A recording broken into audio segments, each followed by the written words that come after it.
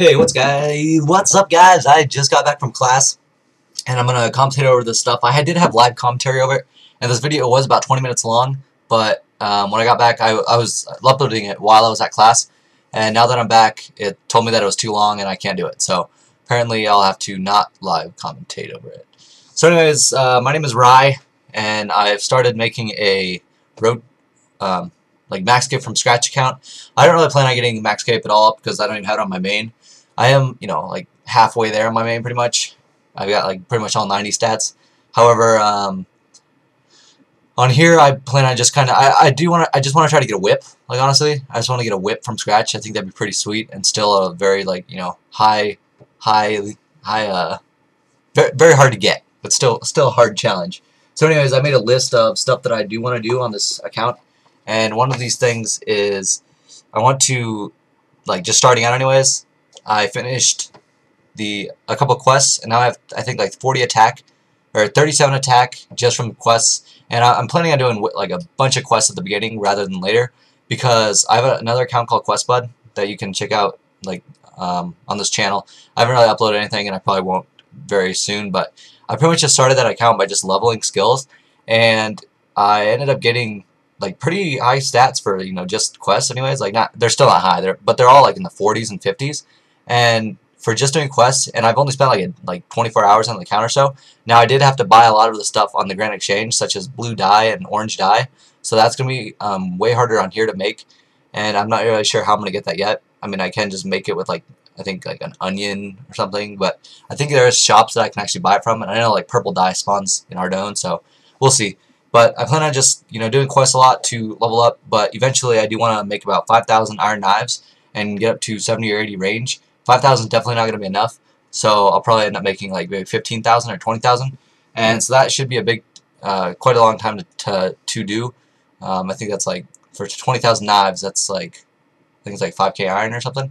But I did, one of the quests that I did to get my attack up was Tree Gnome Stronghold, or the Grand Tree, and so now that I've finished that, I have access to their mines down in the, the basement, and they're actually pretty good mines, and what I'll probably do is I think ne my next goal will be to get 75 rune crafting for both essence pouches for all the big pouches because since I'll need 75 eventually, that'll just help me with all my runes to get all, all I think, four pouches there are.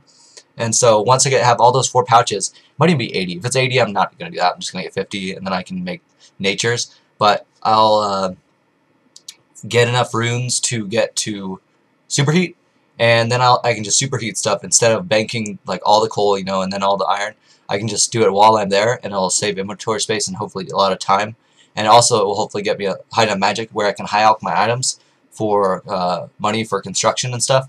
And so that's my plan. And with construction comes the Gilded Altar. And so then I will be able to use all my bones that I'll get um, while I'm training crafting from dragons. So that's just where I'm at kind of in my mindset. And then eventually I can get the whip. Now, until then, I will be using the Leaf Bladed Sword, pretty much like everybody else. Um, I'll need 55 Slayers, but that shouldn't take too long because another thing I want to do is make um, around 10k cannonballs. Now, that's going to take a very long time as well, so I'm not really sure how motivated I will be to do that. But I figure it'll save me a lot of time trading Slayer, so it might be worth it. Especially since you can't get cannonballs any other way that I know of.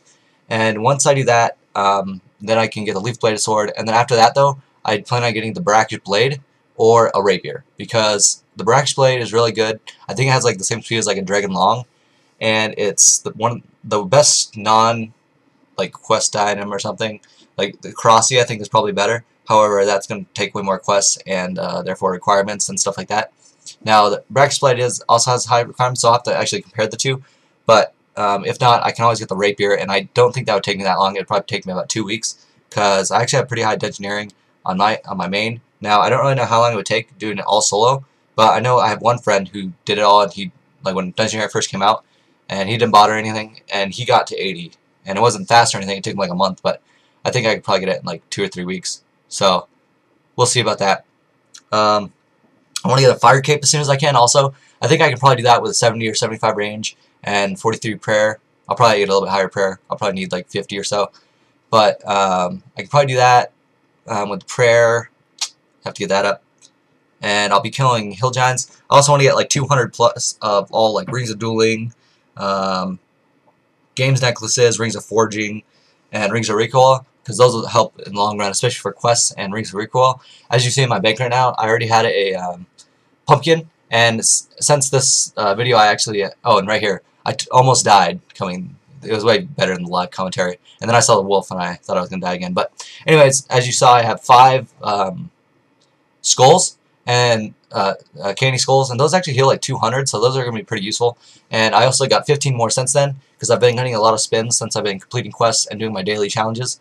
Um, besides that, I got 25 agility, so I can do those quests and stuff like that. And the video you're watching right now is just me running all the way to the Tree Gnome Stronghold. And I remember back in the day when I did it on my first account in like 2007, and you couldn't just go to the Grand Exchange and buy everything. It was way harder to get to places like this, and like I would just not go. I didn't do. I don't think I did Gnome Village or Gnome Stronghold until I was like probably level 90 or something, just because it was. It took forever to get there. You know, you had to run all the way there and then you had to run all the way back to like you know do all the stuff. So I, I remember I did do that for a while, but now that I can buy or now that now that I I'm doing it again without using the Grand Exchange because like on QuestBud it was really easy. You know I just bought like a thousand uh, super energy or energy potions and that you know made everything faster. I would just buy teletabs and stuff like that. But now I'm definitely realizing how how easy it's gotten um, for anything. And also another thing I want to do is I want to get high, high enough crafting to make um, Royal Dragonhide. I, I don't know how high that is, but I can't imagine it's above like 85, and 85 isn't honestly isn't like that hard to get. Um, de definitely getting to 70 will be hard, and after that it'll be even harder. But I think overall I'll need a lot of coins for alching, or not for alching, but I'll get a lot of coins from alching, and then I can use that to tan d'hide bodies and all that stuff. But eventually I do just want to get a whip, and uh, maybe maybe a fighter torso, um, probably a fighter torso because honestly, a rune platebody is going to be pretty hard to buy. And also, I will be using quest guides. That's one of the other rules that I'll kind of be breaking from. It's not really, is it optional or whatever, so I'll definitely be doing that because it, I just don't have the time to run back and forth 100 times. If I, you know, if this was like something I going all the way, I would probably do it. Maybe, I don't know. But this thing is going to take so long anyways that I'm not even going to bother, like, you know, making it even harder than it already is. And even ever since the beginning, there has been quest guides. So that's kind of how I see it. Um, anyways, I guess that's the end of this video. Um, I'm going to pull up right now the uh, the picture of me doing my spins, and I, I got a mithril pickaxe, which should be very helpful, and so I just wanted to prove that before. And it's unfortunate that I didn't have, like, I think it was uh, 40 attack, because then I could have gotten a rune pickaxe, I think, I believe, or something. Anyways, yeah, so I uh, hope you guys enjoy, and please subscribe and like and do all that awesome stuff. Thanks.